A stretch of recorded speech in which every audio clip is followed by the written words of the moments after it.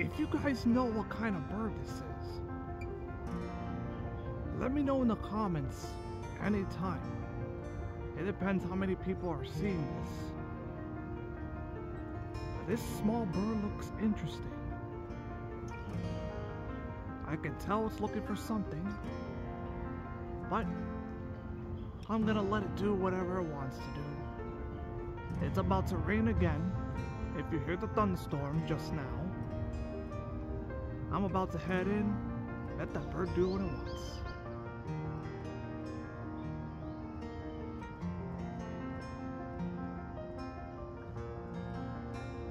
Does anybody know what kind of bird that is that makes that squeak and flies somewhere where it wants to go?